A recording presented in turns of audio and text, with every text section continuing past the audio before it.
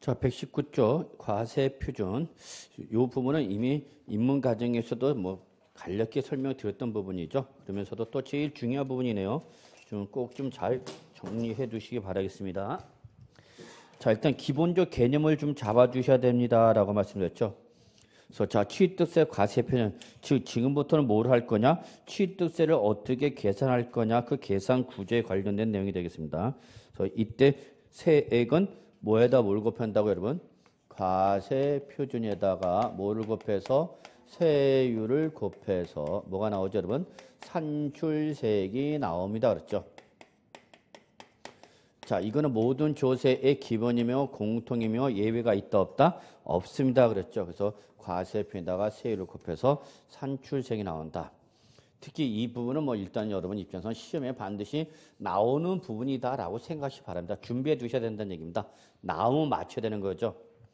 물론 안 나올 수도 있습니다. 시험이라는 것이 중요하다 해서 꼭 나오는 건 아니니까. 그렇지만은 여러분 입장에서는 나올 가능성과 안 나올 가능성을 따진다면 나올 가능성이 더 높다라고 봐야 되는 거죠. 그러면 첫째 세 계산 요소인 과세 표준과 그다음에 세율인데 지금 바로 요 과세 표준 어떻게 할 거냐 그 얘기죠. 자, 책겠죠, 여러분? 확인합시다. 취득세 과세 표준은 뭘 한다고 여러분? 취득이란 행위가 있을 때죠. 그래서 취득 당시 그 물건이 뭐죠, 여러분? 가액. 취득 당시의 가액을 갚는 거죠. 여러분 여기서 취득 당시 할때 이 취득 당시는 무슨 시점? 행위 시점. 취득이란 행위가 있었을 당시의 그 물건의 가액을 과표로 하겠다 그 얘기죠. 다만 이때 이 취득 당시 가액을 어떻게 결정할 거냐 그 얘기죠. 이때 가액을 결정하는 방법 몇 가지가 있다 여러분? 세 가지가 있습니다. 그렇죠. 뭐와 원칙과 뭐죠 여러분? 예외와 뭐가 있죠 여러분? 특례가 있습니다라고 했죠. 자, 이때 적용 순서를 따지면 뭐부터 적용하라 여러분? 특례가 적용 순서입니다. 1순위입니다. 그죠 그리고 특례 적용 대상이 아니면 어디로 간다 여러분? 원칙으로 갑니다. 그렇죠. 그러나 원칙을 적용할 수 없던 어디로 가라고 여러분? 예외로 가는 거죠. 자, 요거 잡으셔야 되겠죠. 그러면 특례는 글자도 특례니까 특이한 경우에만 적용하는 거죠. 그죠? 특별한 경우에만 적용하는 거죠. 그래서 우리가 이 특별한 경우는 우리가 적어진 것이 어떻게 됐죠, 여러분? 첫째, 국지외수 공판장. 우리가 아까 이미 봤었던 거죠. 거래사에 대한 객관적 확인이 가능한 경우. 여기다가 하나가 더 들어온다 그랬죠. 뭐가 들어왔죠, 여러분? 부동산 거래 신고와 예, 그에 따른 뭐가 검증이 이루어진 취득이죠. 그럼 이러한 국지외수 공판장과 부동산 거래 신고와 검증이 이루어진 취득인 경우에 한해서만 이 경우에 한해서만 이 경우에서만 과세 표준이 뭘로 되는 거죠, 여러분? 사실상 취득 가격이 되는 거죠. 또는 연부 금액이 되겠죠. 그래서 저는 여러분한테 강조 싶은 것이 사실상 취득 가격, 요 사실상 취득 가격을 적용하는 것은 아무나 아무 때나 적용하는 것이 아니라 딱 법에서 정해진 경우 어떤 경우가 나다 여러분? 국지외수 공판장 이거는 의미, 이미 우리 아까 취득식에서 봤었죠 여러분? 여기다 뭐 더하라 부동산 거래 신고와 검증이 이런 취득에. 이때는 얼른 간다 여러분. 사실상 취득 가격이라는 거죠. 근데 이러한 경우가 아니다. 이러한 국지외수 공판장과 부동산 거래 신고와 검증이 이루어진 취득이 아니면 어디로 가라고 여러분? 원칙 누구로 가는다? 취득자가 뭐한가에 신고한 가요로 가는 거죠. 취득자가 나 얼마 주고 샀습니다라고 뭐한가에 신고한 가액을 흑어라는 얘기죠. 신고한 가액.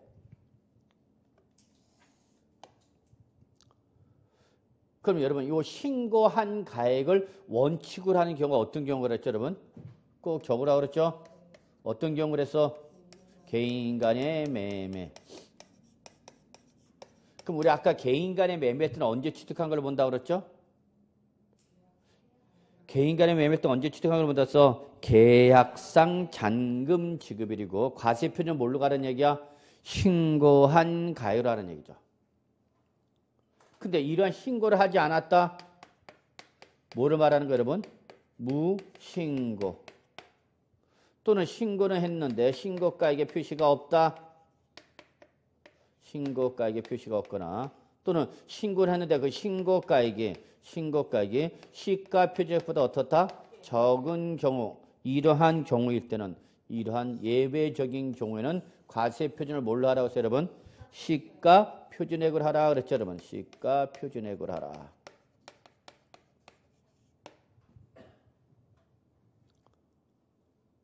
특히 이거 아주 중요하죠. 요 신고가액이 시가표보다 어떤 경우? 적은 경우. 자, 요거는 뭐 신고 자체 안 한 거 뭐를 말하는 거고? 무신고. 요거는 과소신고를 말하는 거죠. 그러니까 예외를 적용하는 경우는 어떤 경우이거나 무신고이거나 과소신고인 경우죠. 그때는 과세표를 뭘로 가라고 여러분? 시가 표준액이라고 그랬죠. 시가 표준액.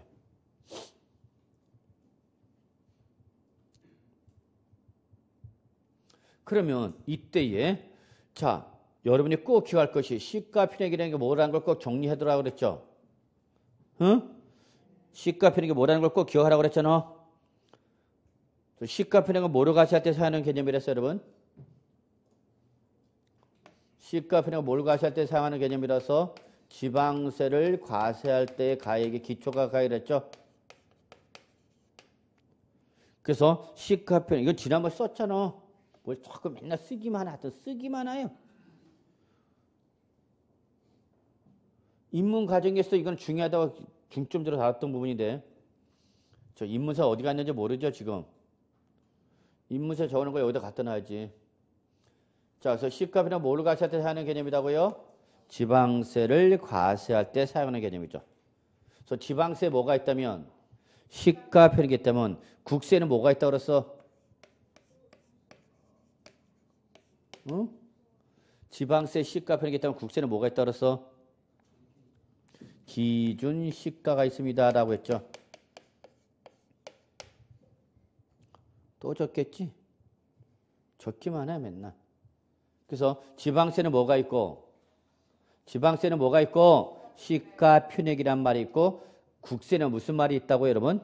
기준 시가. 그래서 이거 꼭 구분하라서 시가 표액은 뭐가 살 때만 사용하는 개념이다고요? 지방세.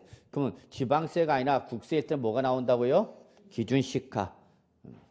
근데 이때에 이 기준 시가나 시가 표액은 납세 의무자가 정한 가격이 아니라 누구랬어요, 여러분? 과세권자가 과세권자가 과세 물건별로 과세 물건별로 뭐 한 가액이라고 했죠, 여러분?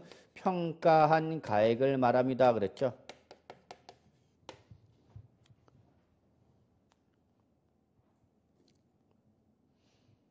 정말 이럴 거야? 이거는 그렇게 중요하다고 계속 이 입문 과정에서 할 때도 상당히 강조했던 건데 이거 안 썼어? 응? 입문서가 없으니까 모르죠? 입문서를 갖다 버리고 어, 세척하니까 또 이제 뭐또 적기만 해 맨날. 여러분 그 입문서에다 그래도 적어놨던 거 여기다 기본세도 옮겨놔야 되는데 안 옮겨놓으니까 이제 새, 새롭게 공부하는 거죠. 자 좋습니다. 다시 한번 정리합시다 여러분. 자 시가 편행은 뭐로 과세하는 개념입니다 여러분. 지방세를 과세할 때 과세가의 기초가 되는 거로서 자 요거는 취득자라는 압세무자가 정한 가액이 아니라 누가 정한 가액이다 여러분? 과세권자가 정해놓은 가액이다. 근데 과세 물건별로 뭐한 가액이 여러분 요거는 평가액이야 평가액. 그래서 여러분 요걸 학개론에서 가격 가치 개념으로 구분했을 때 요거는 무슨 개념이라고 해서 여러분? 가치 개념입니다. 그렇죠. 가치, value 이런 말 들어본 적 있어 없어? 했잖아. 그럼 요게 가치 개념이라면 요거는 무슨 가격이야? 가격의 가, 개념이다라고 했죠? 프라이스다고.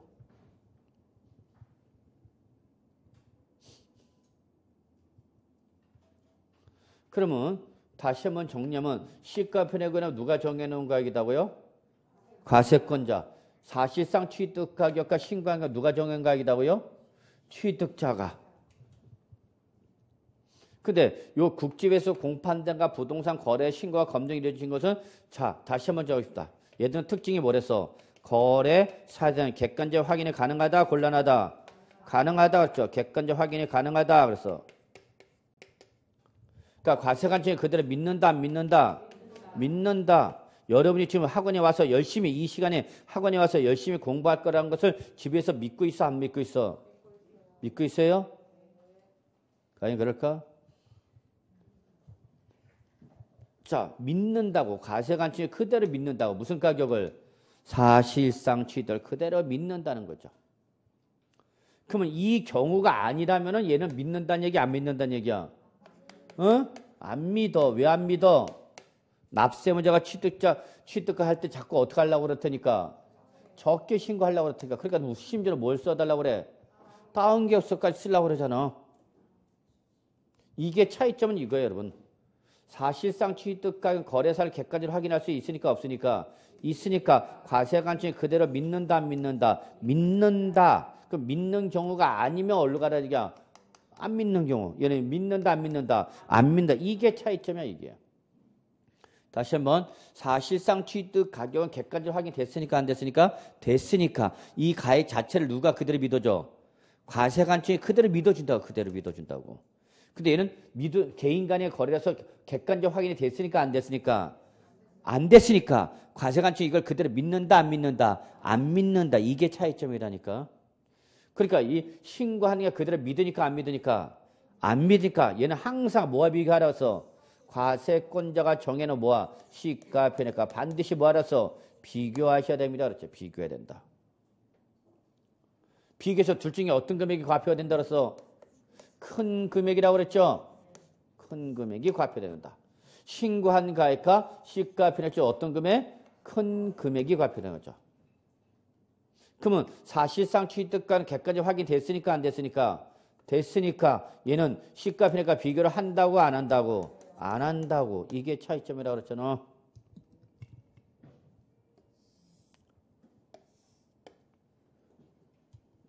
이건 입문 과정에서 말씀드렸다시피 취득세 과표의 가장 기본적인 내용이야. 이런 기본적인 내용이 정리가 안 되고 뭐 자꾸 해봐야 딴 거 나가봐 소용없어. 그래서 꼭 좀 기억해 두시 기 바랍니다.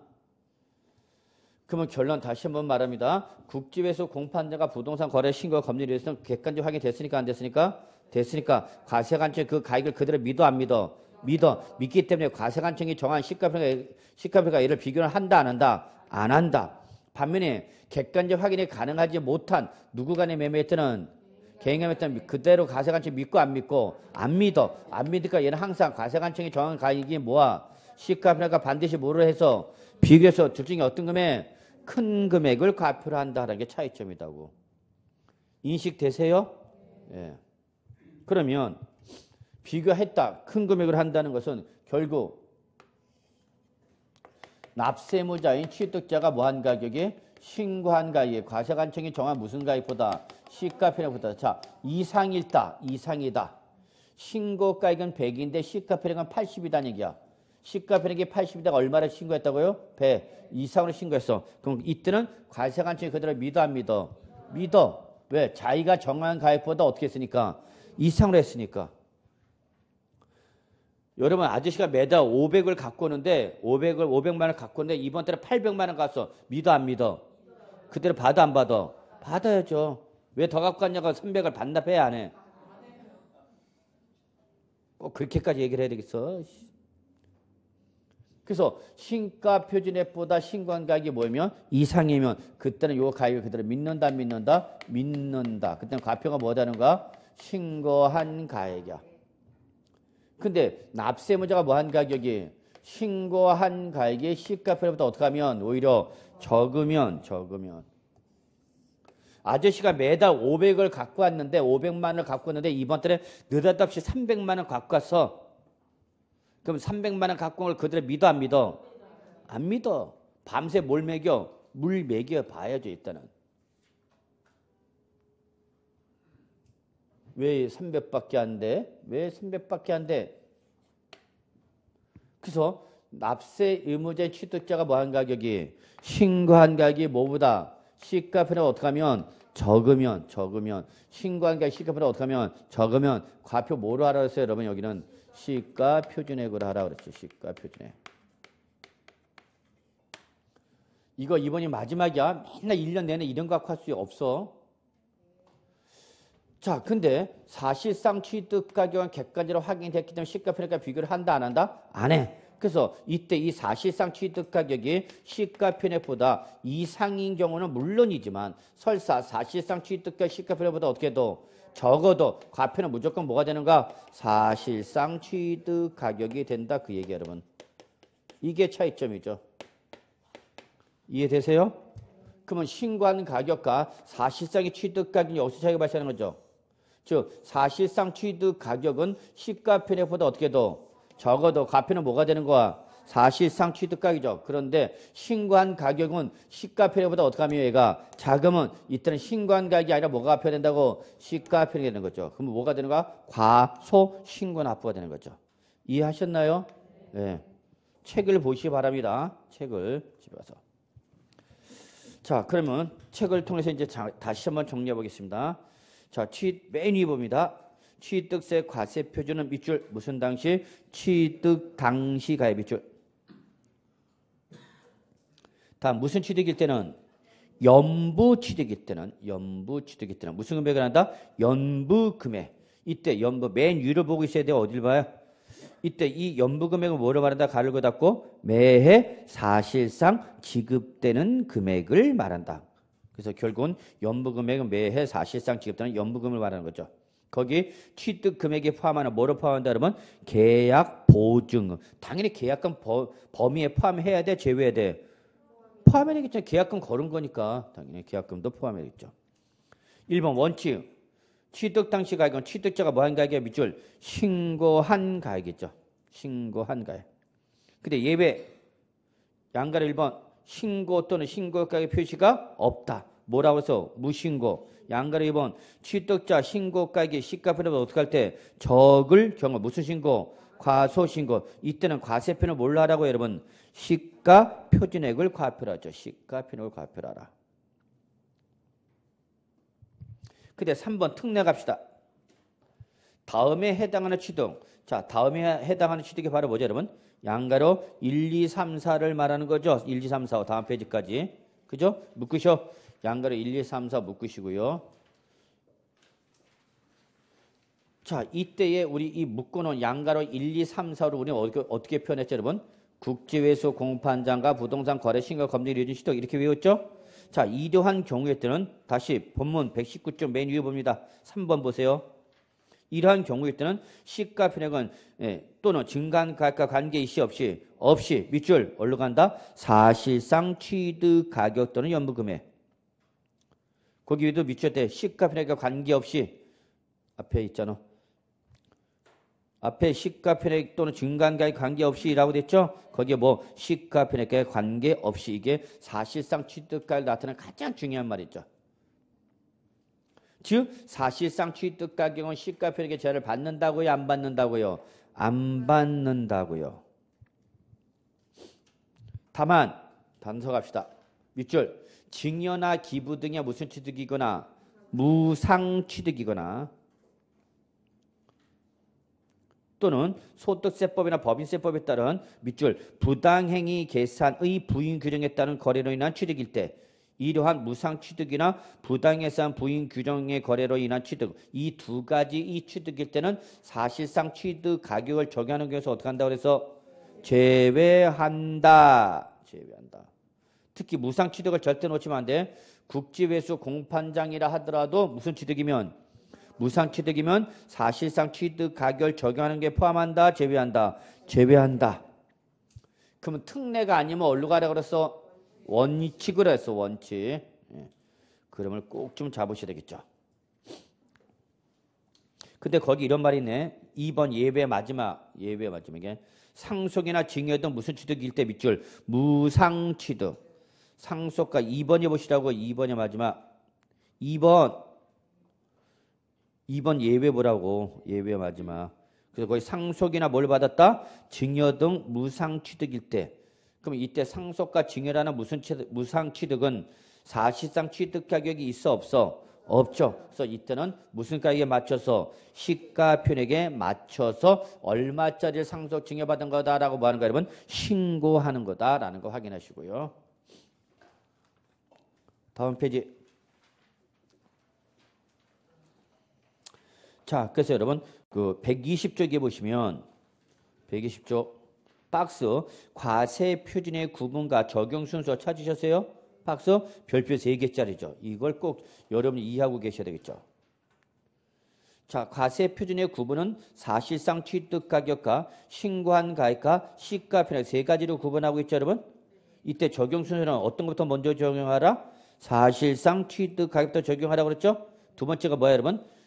가액. 마지막이 뭐야? 시가 편액이죠. 그러면 이때 사실상 취득 가격이나 신고한 가격은 다 누가 정한 가액이 여러분?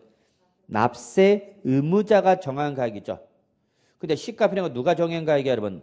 과세권자가 뭐 할 때? 보통 징수할 때죠. 그럼 이때 사실상 취득 가격과 신고한 가격은 납세무자가 정한 가격이지만 사실상 취득 가격은 확인이 됐으니까 안 됐으니까 됐으니까 특징 시가 편익의 제한을 받지 않는다. 그러나 신고한 가격은 개인 간의 매매에 들어서 객관적 확인이 됐으니까 안 됐으니까 안 됐으니까 얘는 시가 편익의 제한을 받는다. 이게 차이점이죠. 거기서 시뻘게 최대 받지 않는 받음 이게 차이점이잖아. 따라서 결론 사실상 취득 가격이 시가 편액보다도 어떻게 더 적어도 과표는 뭐가 되는가? 사실상 취득 가격. 그런데 무슨 가격이 신고한 가격이 시가 편액보다 어떻게 하면 적으면 이때는 과표가 뭐가 되는가? 시가 편액이 된다라는 걸 잊지 마시기 바라겠습니다. 잡으셨나요? 예. 그래서 여기까지 꼭 기본 중에 기본입니다. 이게 정리가 돼야만 나중에 특례가 나갈 수 있어. 어? 121조부터 예, 여기는 조금 나중에 하기라고요. 그래서 뭐 121조, 122, 123조. 자, 거기 123쪽에 보면 간주 취득 등에 대한 과세편이 있죠. 일단 여기다 꼭 적어 넣어야 될 게 있어. 2번 간주 취득 등에 대한 과세표는 땡땡 해놓고 이때는 반드시 무슨 가액이 됐죠 여러분? 증가한 가액이랬죠 여러분 증가한 가액 그래서 다시 한번 강조합니다 간주 취득일 때 과세 표준은 무조건 무슨 가액이다 여러분 증가한 가액이다라는 걸 절대 놓치면 안 됩니다 자 나머지는 다음에 하기라고 자 125쪽 보세요 자, 시가편에 조금 더 정리합시다. 시가편을 모르면 지방세 모른다 그래서 자, 그러면 시가편액은 다시 한번 정리하지만 시가편액은 누가 정해놓은 거기다고요? 과세권자가 과세 물건별로 뭐한 가격 여러분 평가한 가격. 그러니까 얘는 물건별로 따로따로 나온다는 얘기죠. 네? 예. 그럼 이때 과세 물건별로 구분할 때 우리가 기억할 게 토지와 주택이죠. 그리고 나머지 뭐죠? 건축물이 되겠죠.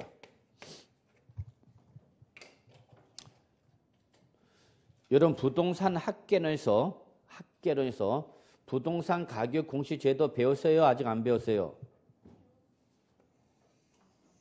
응?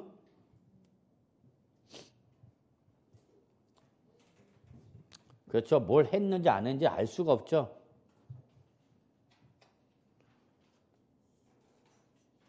그래서 여러분이 학견에서 아마 이제 1월 달 입문 과정에서 배우지 않았다. 그러면 아마 2월 달 경에 예, 본 강의 들어갈 때 부동산 가격 공시제 들어갈 거예요. 배울 거예요. 그러면 토지와 주택은 매년 정부가 가액을 어떻게 하요? 조사하여 공시한다고 그랬죠? 그래서 지난번에 단독주택 가격 나왔고 이번에 예, 토지 나왔죠. 예.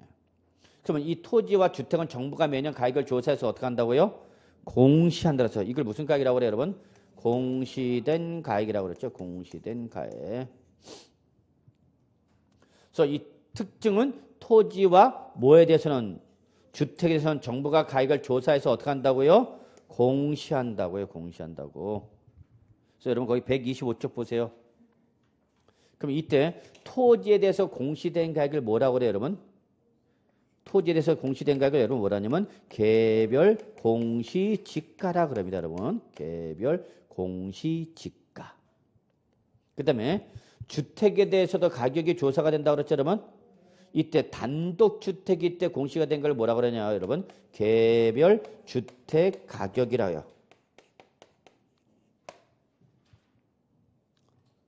그래서 요거 지난번에 개별 주택가 표준 주택 가격 산정 나와갖고 우리 한남동 등 대재벌들 회장님들의 주택 가격과 개인 주 단독 주택 가격과 유명 연예인 뭐박 뭐, 뭐 이런 유명 연예인들 갖고 있는 단독 주택에 대한 표준 주택 가격 공시가 됐다. 지난번에 말씀드리고 한번 카페에 들어와서 보라고 그랬는데 안 하죠. 예. 자 어쨌거나 단독 주택일 때 뭐가 나고 개별 주택 가격이 나고 아파트 등일 때 뭐가 나온다 그러면 공동주택가격이 나옵니다. 그걸 좀 보셔야 돼요. 기, 뉴스 시간에 나오는 거 그런 거 다 여러분 배우는 건데. 그래서 토지는 무슨 가격이 공시가 되고 개별 공시 지가 공시가 됩니다, 여러분. 그다음에 주택은 뭐가 나온다고 여러분? 개별 주택 가격 또는 공동 주택 가격이 매년 정부가 가액을 조사해서 어떻게 한다고 공시한다고 공시한다고.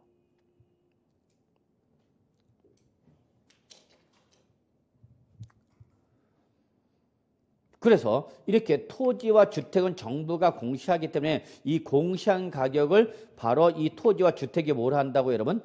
시가 표준액으로 하겠다 그 얘기입니다. 이 가격을 뭘로 한다? 시가 표준했다. 그래서 거기 책을 보세요. 125쪽. 자, 지방세법 시가 표준이죠. 토지 및 주택에 대한 시가 표준액. 그래서 거기 본문 단서 본문 박스 바로 위에 토지 및 주택에 대한 시가 변화가 밑줄 토지 및 주택에 대한 시가 변화가 뭐라 그래서 부동산 가격 공시에 관한 법률에 따라서 무슨 가액으로 알았어? 공시된 가액 밑줄 공시된 가액.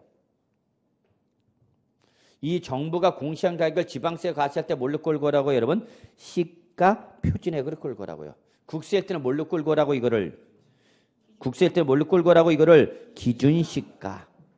그래서 다시 한번 지방세는 뭐가 있고 시가 편에 국세는 뭐가 있다 그러면 기준 시가가 있다는 거죠. 이때 여러분 거기 토지에서 공시된 가격이 박스 보시면 뭐가 나왔죠 여러분 토지는 개별 공시지가가 나왔죠. 그다음 주택일 때는 뭐가 나왔어요 여러분 개별 주택 가격 또는 공동 주택 가격이 나왔다. 이 공시된 가격을 뭘로 하라는 얘기 해당 토지 주택이나 토지의 시가 표준액을 하는 얘기죠. 그러면 나는 아파트를 갖고 있어. 뭐를 갖고 있다고요? 아파트. 그럼 무슨 가격 공시가 돼? 공동주택가 공시가 되겠죠? 응? 예. 네. 자, 근데 여기서 조금 요거 더 나갑시다. 조금만 더 나갑시다. 이때 이 개별 공시지가는 여러분 정부가 공시할 때 이 자세한 내용은 어디서 배우는가 여러분? 이 공시 절차 공시 내용은 어디서 배우는가 여러분? 학계를 할 때 배우는 거 근데 학교에서 안 했으니까 제가 급한 대로 제가 먼저 하는 거예요. 그래서 자세한 내용은 어디서 배운다고? 개론에서 배우는 거야. 근데 이 개별 공시지가의 특징이 뭐냐면 여러분 토지의 1제곱미터당 즉 면적당 가액으로 공시가 돼. 토지 전체 면적에 대해서 공시가 되는 것이 아니라 모든 토지의 기준 면적으로서 얼마 나온다 여러분? 면적당 가로 공시가 된다. 면적당. 그러니까 1면적당 얼마로 나온다고. 그럼 내 토지에 뭐를 구하려면 시가표라고 그러려면 요거는 지금 무슨 개별 공시 시가는 뭐뭐로 나온 거니까 면적으로 나왔으니까 여기다 내 전체 토지 면적 곱해야만 내 토지에 대한 뭐가 나오는가 시가 표액이 나오는 거죠. 이해하셨어요? 그래서 여러분 거기 책에 보시면은 개별 공시지가 곱하기 면적이 나와 있죠. 그, 그러면 왜 면적을 곱한 거냐? 이 개별 공시지가가 토지 전체 면적에 대해서 공시된 가격이 아니라 1제곱미터당 가격으로 공시가 된 거기 때문에 거기다가 토지 면적을 곱해야 전체 토지에 대한 뭐가 나오는가? 시가 표현이 나온다. 그입니다. 이해하셨어요? 근데 주택은 면적을 곱하라는 게 있어 없어? 없어. 그럼 이걸 꼭 기억해 돼요. 이 주택은 우리 정부가 공시할 때 주택 건물과 토지는 별개다 하나다. 하나다 알아보는가? 일반적인 토지와 건축물 하나다 별개다. 일반적인 토지와 건축물은 토지와 건축물은 하나다 별개다. 별개야 별개. 토지는 토지, 건물은 건물이잖아. 이게 일반적인 거단 말이야. 별개단 말이야. 그래서 토지는 뭐가 있고 토지 등기부, 건물은 따로 있단 말이야. 그래서 소유권도 따로 나눠지죠.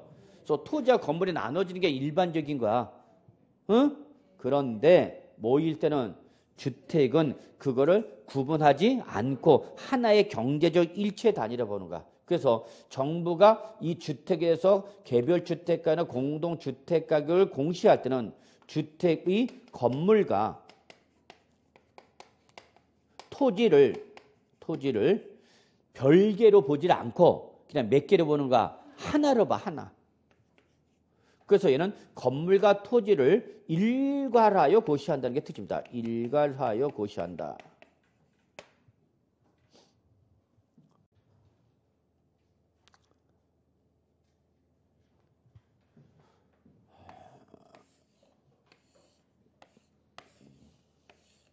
상가가 있고 그 밑에 뭐가 있어요, 여러분? 토지. 주택이 있고 그 밑에 뭐가 있어요, 여러분? 토지가 있어. 그러면 우리가 부동산을 구분할 때는 부동산을 다시 뭐로와 뭐로 구분해, 여러분? 부동산을 뭐와 뭐로 구분해? 토지와 건물로 구분하죠. 그래서 물건을 몇 개로 본다고. 이게 일반적이잖아. 그래서 민법에서도 99조 이 부동산하면 토지와 그 정착물을 말한다고 그랬고 등기부상이나 토지 등기부와 건물 등기부로 나눠지잖아. 그런데 이게 뭐일 때는 여러분? 주택일 때는 주택일 때는 이거를 별개 물건으로 보는 것이 아니라 몇 개 물건으로 보자는 얘기 여러분? 한 개의 물건으로 보자는 얘기. 어차피 주거용이라는 하나의 경제적 일체 단위로 보겠다는 얘기 여러분. 그러니까 이 하나의 경제적 일체 단위로 보니까 정부가 가액을 뭐 할 때? 공시를 할 때 건물 따로 토지 따로 공시하지 않고 그냥 전체가로 나온다고. 이걸 전체가로 한다는 걸 뭐라 표현한가? 일괄고시가. 일괄고시가이란 말이 어려우면 그냥 전체가로 적어놔. 이걸 1년 내내 해. 1년 내내.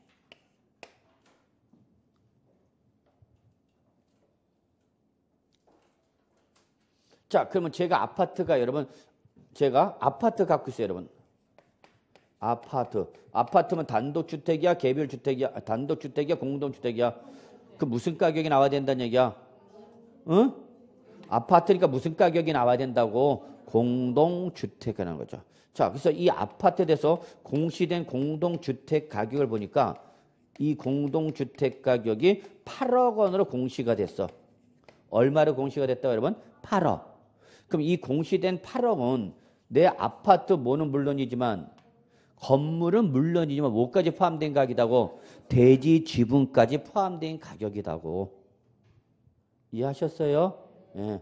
그래서 항상 개별 주택가나 공동 주택 가격은 주택 건물과 토지를 따로 구분한 것이 아니라 무슨 가격 나온다고? 일괄 고시가액. 무슨 가격 나온다고? 전체 가액으로 나온 거다고. 놓치면 안 돼. 따라서 여러분이 집에 아파트 갖고 있다. 그러면 이번 예, 작년에 공시된 가격을 한번 보라고. 그럼 작년에 얼마로 공시가 됐어? 8억. 그럼 이 8억으로 공시된 가액은 내 아파트 건물만이다. 대지 지분까지 포함한 가액이다. 대지 지분까지 포함된 가격이다고. 그래서 여러분 우리 등기부상에 이거 배우잖아. 집합 건물 두 분 등기하잖아. 어. 자, 그래서 여러분 요거 꼭 좀 기억하시고. 그 다음에 건축물. 주택을 제외한 건축물일 때는 주택을 제외한 건축물일 때는 아직 정부가 상가 등기 때는 공시를 하고 있지 않아요. 그래서 얘는 지금 공시되고 있다 안 되고 있다 안 되고 있다 등죠. 그러니까 오로지 뭐만 공시가 되니까 주택과 토지고 주택을 제외한 나머지 우리 학원 건물 있죠? 모든 나머지 건물은 공시가 되고 있다고 안 되고 있다고 안 되고 있어. 그러면 공시가 안 되고 있으니까 지방세를 과세할 때 시가비라고 얘는 뭐로 할 거냐 그 얘기야. 건축에 대한 시가 비령은 뭐로 할 거냐 그 얘기야. 자, 여러분 요게 여러분 126쪽 보실래요? 126쪽에 여러분 2번 주택 외의 건축물 등에 대한 시가 비령 찾으셨어요? 자, 거기 양가를 1번 보세요. 양가를 1번. 토지 및 주택을 제외한 건축물이죠. 그죠? 토지 및 주택 외의 뭐 밑줄 건축물. 그러니까 바로 양가 거기 1번은 요걸 얘기하는 것 같지만 건축물. 토지와 주택을 제외한 건축물. 왜? 토지와 주택은 어떻게 하니까? 공시가 되니까. 그래서 공시되는 토지와 주택을 제외한 뭐 여러분? 건축물. 자 그때는 마지막 양가 1번의 마지막에다만 보세요. 결론 누가? 지방자치단체장이 결정한 가액 이거를 해당 건축물에 뭘로 하라는 얘기야? 시가 표준액으로 하라 그 얘기야 그래서 다시 한번 토지와 주택을 제외한 상가 사무실 모든 건축물은 지금 오늘 현재 공시가 되고 있으니까 안 되었으니까 안 되고 있으니까 이때에 이 건축물에서 지방세를 과세할 때는 지방세 과세권자인 누가? 지방자치단체장. 그래서 얘가 나오는 거야. 뭐니까? 지방세 지금 하는 거니까. 지방세 할 때 누가 나온다 그러면 지방자치단체 장이 무슨 가에? 산정한 가에 결정한 가액이라는 거죠. 결정한 가다.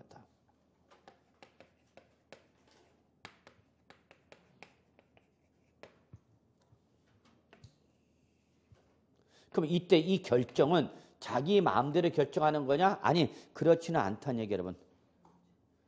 법에서 정하는 방법에 따라서 법에서 정하는 방법에 따라서 결정을 하는데 그 법에서 정하는 방법이 여러분 127조 양가로 5번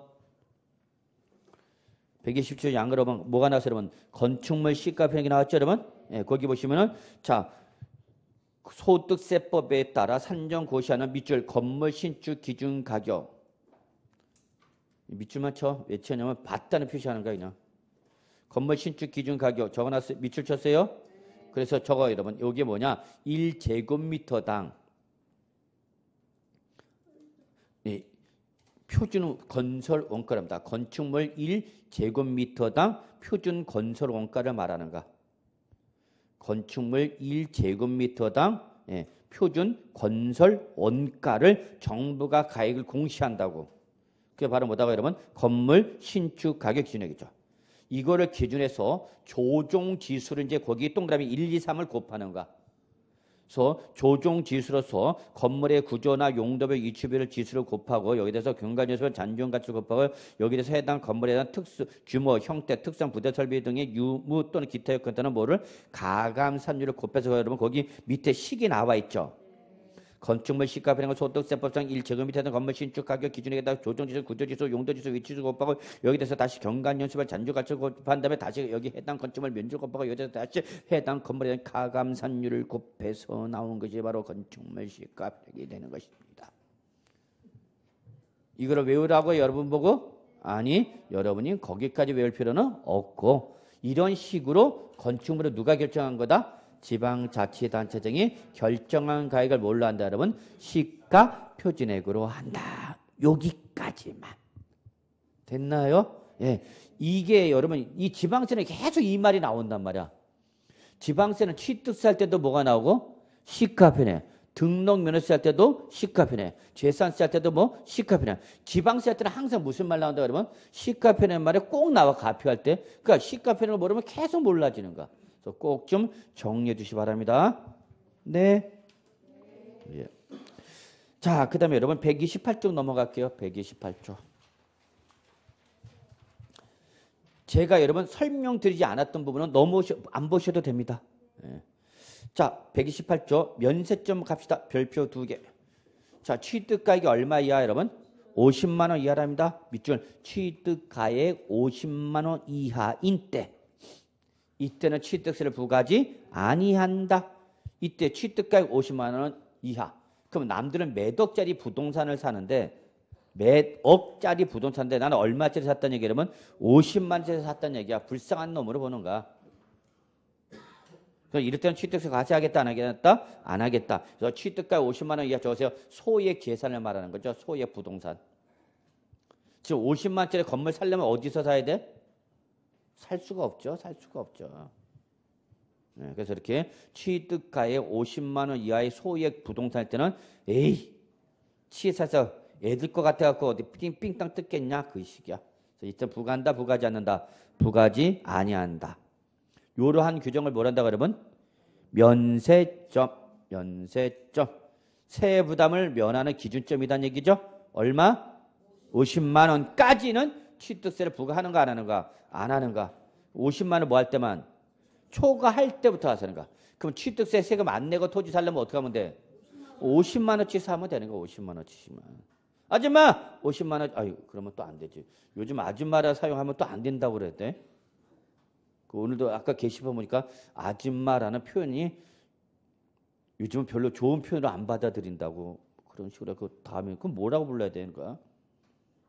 아줌마를 아줌마로 부르지 못하면 아줌마를 도대체 뭐라고 불러야 되냐고. 여사님, 여사님, 예, 여사님. 그렇습니다. 앞으로 여사님으로 부르겠습니다. 여사님.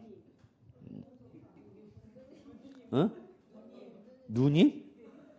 누구 입장에서 누님이야? 예, 그렇죠. 누님. 손 한번 잡아주이소. 이러면서. 죄송합니다. 예. 자, 취득가 얼마 여러분? 50만 원이야. 연락하지만 무슨 재산 여러분? 소액 재산. 남들은 매덕짜리 부동산을 사는데 매덕짜리 부동산 얘는 얼마짜리 산 거야 여러분? 50만짜리. 에이 불쌍한 놈. 과세하마 안 하마? 안 하마. 그 얘기죠. 자, 됐죠. 그 다음에 이제 우리 세율 129쪽 갑시다. 세율. 이제 여기까지 과세표의 기본적인 내용 마무리 짓고요. 이제 우리 세율 갑시다. 자, 이제 산출세 계산 요소 두 번째 요소 아주 여러분이 아마 공부할 때 세법 공부할 때 가장 짜증 나는 부분 중에 하나가 바로 요 세율이죠. 네, 요거는 그냥 단순 무식하게 외우는 수밖에 없어. 무슨 논리적이거나 이론적으로 펼쳐지는 게 아니라 법에 의해서 재정 수입의 규모를 감안해서 정하는 숫자이기 때문에 이거는 뭐 그냥 거의 외우는 수밖에 없지 않을까 생각합니다. 다만 우리 잠깐 취득세 표준세를 전체적인 흐름을 본다면 아 또 더럽게 복잡해요. 기본적으로 무슨 세율이 있냐면 표준 세율이 있어요. 표준 세율이 있어요. 그 다음에 두 번째로 이러한 표준 세율보다 남들보다 이런 남들이 적용되는 표준 세율보다 무겁게 때리겠다. 뭐가 있어요, 여러분? 중과세율이 있어요, 여러분. 중과세율이 있어요. 그리고 요 종전 취득세와 종전 등록세의 통합 조정에 따라서 과세하는 것을 조정하게 한 게 바로 뭐냐면 특례세율이라는 것이 있어요. 특례세율. 그래서 기본적으로 취득세세는 무슨 세율과 여러분? 표준세율과 무슨 세율? 중과세율과 뭐 여러분? 특례세율 몇 가지를 구분한다 여러분? 세 가지 구분합니다. 자 결론부터 말하면 올해 2019년도 시험 대비는 저는 무조건 특례세율 별표 3개 무조건 찍습니다. 여러분 나온다 보셔야 되는 거야. 특례세율. 저 뒤로 넘어가면 특례세율 나오죠? 찾아줘야 돼 또. 자 142쪽부터 나와 있죠 여러분? 네, 142쪽부터 특례세라서 별표 3개. 일단은 여러분 입장에서 나온다고 봐야 돼. 무조건 나온다. 물론 안 나올 수도 있죠. 안 나올 수도 있죠. 그렇지만은 여러분 입장은 나온다라고 생각해야 된다고. 그래서 안 나올 수, 그러니까 우린 준비를 해서 안 나올 수도 있는 거죠, 뭐. 근데 준비를 안 했다 나면 이때 감당이 안 되는 거죠. 무슨 말인지 아시죠? 그러니까 여러분 저는 꼭 준비해 두시죠. 이때 특례에서는 몇 가지가 있냐? 두 가지가 있어요, 여러분. 두 가지가. 표준세에서 2%를 뺀 중과 기준세를 뺀 세를 적용하는 경우와 그냥 중과 기준세 몇 프로 여러분? 2%를 적용하는 경우죠. 특히 여기서 법에서 요 2%를 요 2%를 뭐라고 표현하냐? 중과 기준 세율이라는 거죠. 그래서 우리 취득세에서 무슨 세율이 나오면 여러분 중과 기준 세율 뭐 할 때? 중과를 할 때 무슨 세율이야? 기준되는 세율이다. 그게 몇 프로를 말한다 여러분? 2%를 말한다 그래요. 그래서 요 중과세를 할 때에 적용되는 기준세율은 몇 프로를 말하는 거야 여러분? 2%. 그래서 이렇게 특례세율은 표준세율에서 몇 프로 뺀 거와 2%를 뺀 세율과 표준 표준에서 2%는 중과기세를 뺀 세율과 그냥 몇 프로? 2% 적용하는 경우 두 가지로 구분된다 그 얘기입니다. 두 가지로 구분한다.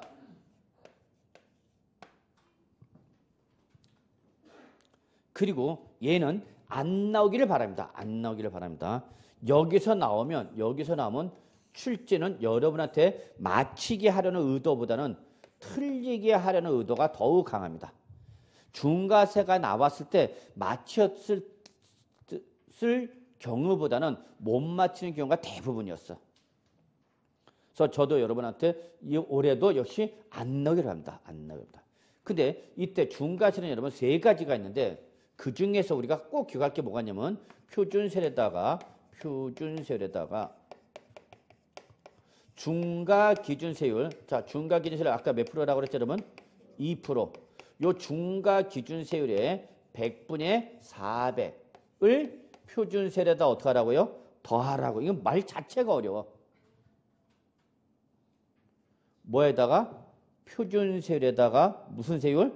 중과 기준 세율 몇 프로? 2%의 100분의 400이 돼. 그럼 이거 몇 배를 말하는가? 4배죠, 4배. 그럼 2%의 4배니까 몇 프로를 말하는가? 2%의 4배니까 몇 프로야?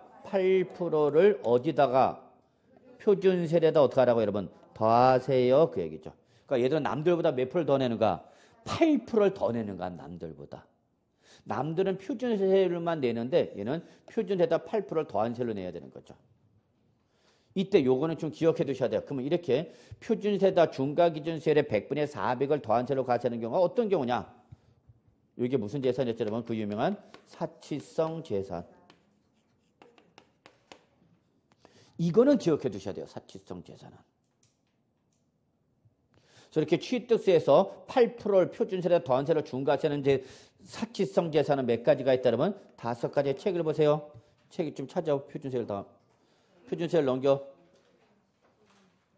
찾았어? 몇 페이지에 나와 주, 요거? 응? 131. 131쪽에 나와 있어요, 여러분. 예, 그래서 중과세 세개 나와 있죠. 그 중에 뭐는 잡아야 된다, 여러분? 사치성 재산은 꼭 기억해 두셔야 돼요. 사치성 재산은. 그럼 사치성 재산은 몇 가지가 있냐? 다섯 가지가 있어요, 여러분. 다섯 가지. 첫째 뭐죠, 여러분? 별장. 두 번째 뭐죠? 골프장. 세 번째 뭐죠? 고급 오락장. 네 번째 뭐죠, 여러분? 고급 선박이죠. 다섯 번째 뭐죠? 고급 주택. 이 다섯 가지를 말해. 그리고 얘들의 모두 여러분 부속 토지도 중과 대상입니다. 부속 토지도 중과 대상이죠. 그래서 요 사치성 재산 다섯 가지 꼭 외우셔야 돼. 그래서 우리 어떻게 외웠죠, 여러분? 이거를 별장, 골프장, 고급 오락장, 고급 선박, 고급 주택. 요거 어떻게 했죠, 여러분? 별골, 오선주 이렇게 외우셔야 되죠. 그래서 사치성 재산 별골, 오선주. 얘들은 남들보다 몇 프로 더 낸다? 8%더 더한 세율을 내는 거죠. 별골에 완고, 투고, 쓰리고 이렇게 외우지 마시고 별골에 오선주. 그래서 사치성 재산 다섯 가지 꼭 기억해 두셔야 합니다. 별골, 오선주. 얘들을 취득하면 그 부속 토지를 포함해서 얘들은 표준세에다 몇 프로 더하라고요? 8% 더하라는 얘기죠. 자, 그런 것이 아니면 이제 뭘거 여러분? 표준세율이죠. 자, 요 내용이 바로 여러분 교재 129쪽이네요. 자, 129쪽 보시면 양가를 1번 부동산 취득의 표준세율 박스에 나와 있습니다. 찾으셨죠? 예, 이걸 여러분이 통으로 외우셔야 됩니다. 별표 3개. 이건 뭐 기본입니다. 기본. 이걸 모르면 취득세는 끝난 겁니다. 그리고 공인중개사가 되셨을 때 자기가 중개한 부동산에 대해서 적용한 취득세 세율도 모른다. 자, 그래서 여러분 그 박스 보셔야 되는데 이때의 이 표준세율은 취득의 유형에 따라 다르죠. 근데 이거 하기 전에 여러분이 꼭 좀 하나 좀 정리할 게 있습니다. 지금 현재 이 취득세 표준세율은 현재 이 취득세 표준세율은 자 예전 2010년도와 2011년 이후부터 바뀌는데 자 우리는 그죠 어떤 날에 잔금을 뭐한 날에 지급한 날에 이 부동산 등 과세 물건을 뭐한 걸로 보죠 여러분 취득한 걸로 보죠 그렇죠 그래서 이 취득에 대해서 취득을 하고 그리고 그 취득한 부동산에 대해서 이거 내 겁니다라고 이제 공실하기 위해서 뭐 해야죠 여러분? 등기를 해야 되겠죠. 바로 이게 등기 접수일이죠.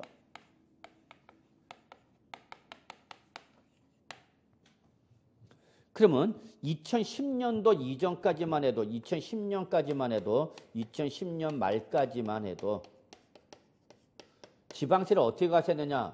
요 부동산을 뭐하면 취득하면 그냥 취득세 2%로 과세했어요, 여러분. 그래서 옛날 취득세는 무조건 2%였습니다. 그래서 여기서 지금 우리 아까 중과 기준세를 몇 프로 했죠, 여러분? 2% 했죠? 요 중과 기준세 2%는 바로 종전 취득세를 말하는 겁니다. 자, 그리고 그 등기를 하게 되면 등기에 대해서 뭘 내야 되냐, 그러면 등록 면허세를 내야 됩니다. 아, 등록세를 냈습니다. 예전에는 등록세를 냈어요. 그래서 취득세는 취득 후 며칠 이내? 60일 이내 냈고요. 얘는 취득 후 60일 이내.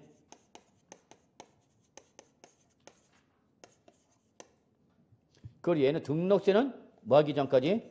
등기하기 전까지. 그러니까 여러분이 부동산을 뭐 해서 취득해서 뭐 하고 싶으면 소유권 이전 등기를 하려면 소유권 이전 등기하기 전에 먼저 뭘 내야 된다는 얘기야. 등록세를 내고 등록세를 냈다는 영수증을 들고 어디 가는가? 등기 신청 접수하러 가야 된단 말이야. 이해하, 이해하셨어요?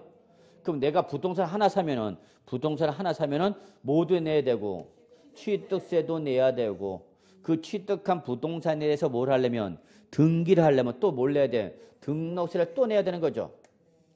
특히 이 물건이 부동산이면 부동산은 등기를 강제하고 있어 선택적 규정으로 했어. 강제 반드시 하게 됐어. 며칠 이내 60일에 하게 됐죠. 부동산 등기 특별 조치법에 따르면 그래서 부동산 취득하면 반드시 60일에 등기를 하게 됐으니까 그거에 대해서 취득세 따로 내고 등록세 따로 내고 일이 번거로워지는 거죠. 이해하셨나요? 여기까지? 그래서 2011년부터는 현재 규정이죠. 2011년부터는 야 어차피 너 부동산 취득하면 취득한 또 60일 이내에 반드시 뭐로 하게 되니까 등기를 하게 되니까 그러면 2011년부터는 요 취득세와 요 등록세를 어떻게 해서 합쳐서 이거를 뭘로 하는 거야 여러분? 취득세로 통합한 거죠. 취득세로. 이해하셨나요? 그래서 2011년부터 취득세 등록세를 따로 내고 안 내고 안 내고 한 번에 다 내자는 얘기 한 번에 다 내서 취득세 등록세를 뭐 해서 합해서 뭐로 내자는 얘기야? 취득세로 내자는 얘기야. 이해하셔야 돼요 여러분 이거. 어차피 네가 부동산 취득하면 뭐 할 거니까 등기를 해야 되니까 그러면 취득세 따로 등록세 따로 낼 바에는 차라리 어차피 뭐 해서 합쳐서 몇 번에 한 번에 끝내자는 얘기야. 오케이? 예. 그러면 예전에 취득세는 무조건 몇 프로였냐면 2%였어요. 취득세는. 그리고 취득세 할라는 날부터 며칠이네? 60일이네. 등록세는 뭐 하기 전까지? 등기하기 전까지죠. 근데 이 등록세는 등기 종류에 따라서 세율이 달라. 등기 종류에 따라서 세율이 달라졌다고. 이걸 뭐 하는 거죠, 지금? 더하는 거죠? 요걸 더해러 취득세를 내라는 얘기예요. 그래서 지금 취득세 표준세율은 이렇게 종전 취득세 몇 프로와 2%와 종전 등기 종류에 따른 등록세를 더한 세율이다 보니까 결론 지금은 취득세는 취득의 유형에 따라서 세율이 다르죠. 자, 그래서 취득 유형에 따라 세율인데 제일 먼저 우리 표대로 뭐 외우시든지 여러분 나름대로 외우실 수도 있는데 제일 먼저 우리 책에 어쨌거나 뭐가 나왔죠, 여러분? 상속, 상속. 그럼 옛날에는 등록세로 따로 가세던 상속일 때 몇 프로 가셨냐? 0.8% 가셨어요. 0.8%. 상속 등기 몇 프로 했다고 여러분? 0.8% 했어.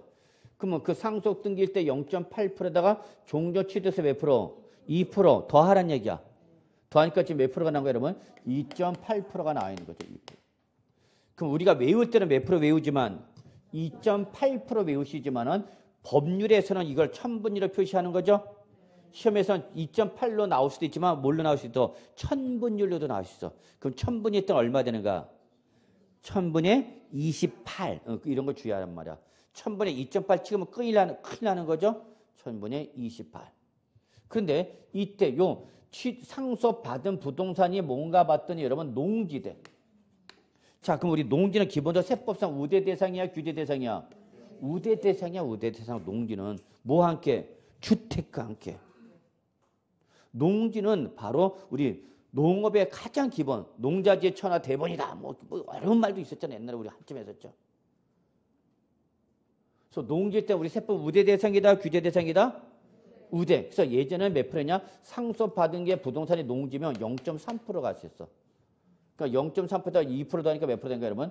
2.3이 되는 거죠. 그래서 2.3%가 농지 나와 있죠. 찾으셨어요? 예. 네. 그러면 상속은 무슨 취득이죠, 여러분? 전형적인 무상. 그러면 무상은 상속에 또 뭐가 있어요, 여러분? 증여 등이 있겠죠. 그래서 상속의 모든 무상이죠. 상속의 모든 무상을 말하는 가 정확히 말하면 그러니까 증여를 포함하는 개념이죠. 증여를 받았을 때 등록에서 몇 프로 가셨냐 여러분? 1.5% 가셨어요. 1.5%. 그러면 저기다 몇 프로 더하라고 여러분? 2%. 그러니까 몇 프로 되니까 여러분 증여할 때는 3.5%가 나오는 거죠. 3.5%. 천분이 얼마가 되는가 여러분? 35. 다만 이때 증여받은 사람이 누구냐 봤더니 비영리 사업자 때 비영리 사업자. 그럼 감을 잡아. 비영리, 사, 비영리 사업자는 공익 사업자죠. 공익 사업자니까 세금을 무겁게 가볍게 좀 가볍게 가야 되겠죠. 그래서 상속과 맞춰져서 2.8%로 간다는 거죠. 그러면 여러분 여기까지가 무슨 취득이죠? 무상취득이죠. 응? 자, 그다음에 이제 우리 상속 다음 이제 원시 취득이 나와 있나요? 예, 원시 취득. 원시 취득이 소유권 최초로 발생한 거죠? 예. 그러면 등록 면에서 몇 프로였냐? 0.8%였어요. 원시 취득. 상속과 똑같이 맞춰, 맞춰준 거죠. 그러니까 원시 취득일 때는 상속과 똑같이 몇 프로 여러분? 2.8% 내면 되는 거죠. 2.8%. 자, 그 다음에 이제 뭐가 있느냐? 공유권의 분할이죠. 공유권. 그래서 공동 소유의 여기는 뭐야 여러분? 분할. 민법상 공동 소유 배우셨어요? 자, 민법상 공동 소유는 몇 가지가 있죠, 여러분? 세 가지 형태가 있죠. 뭐 공유, 합유, 총유. 이거 뭐 여러분 열심히 공부했을 거예요. 예. 저도 은행에서 단, 은행 다닐 때 금융연수원에서 민법 등은 여신금융 여신금융 법률 배울 때 아, 제일 어렵던 게 공유, 합유, 총유. 의의 잡기도 힘들고 요건도 어렵고 예. 효력도 좀 많이 어려웠던 게입니다. 그렇게 뭐 하고 있던 거를 공동 소유했던 걸 이제 뭐 하는 거예요, 여기는? 분할 뭐 하는 가 이제 찢어지는가? 공동소유를 취득하는 것이 아니라 공동소유했던 걸 청산하고 뭘로 가는가? 단독 소유. 그럼 이때에 등록물에서는 분할 등기 0.3%로 가세했었어요 옛날에는. 분할 등기 0.3. 그러니까 2%니까 몇 프로인가 여러분? 2.3%가 되는 거죠. 2.3%. 자, 그 다음에 이제 여기 이외의 모든 취득이죠. 이외의 모든 취득.